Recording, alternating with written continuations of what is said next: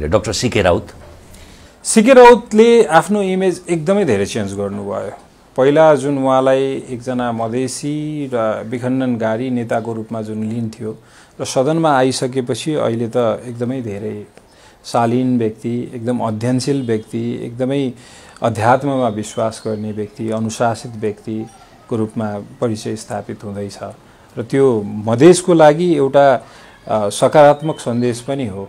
म मेरो सम्मान छ उहाँप्रति किनकि उहाँले गर्दा महन्त उपेन्द्र राजेन्द्र महेन्द्रहरूले जुन एउटा इमेज बिल्ड गरेको थियो मान्छे त्यो सोचेर इरिटेट हुन्थे त्यसलाई पखालिदिने काम मैले पनि केही प्रयास गर्दैछु होला तर त्यसमा मभन्दा धेरै उहाँले गर्दै हुनुहुन्छ।